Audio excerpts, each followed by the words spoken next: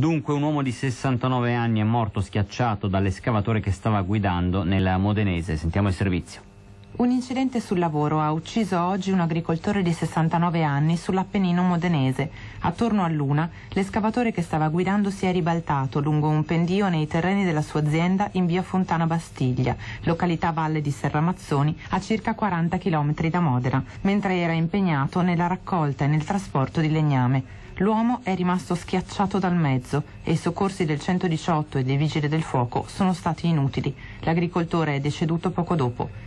Restano ora da accertare le cause dell'accaduto. Sul posto sono giunti anche i carabinieri della stazione locale. Secondo gli ultimi dati INAIL, l'agricoltura è il settore professionale più a rischio di infortuni, con il 37% dei casi di incidenti mortali, di cui 6 casi su 10 proprio a causa del ribaltamento dei mezzi. Valentina Fizzotti, TGR Emilia Romagna.